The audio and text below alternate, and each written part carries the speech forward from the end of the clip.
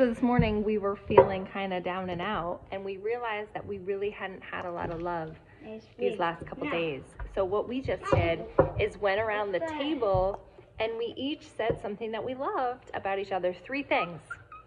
And that was really four. key I said four. for us. I said four. I know you said four things.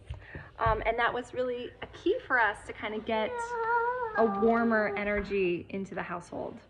So um, it takes me a while to think of these things, so I thought maybe I'd share.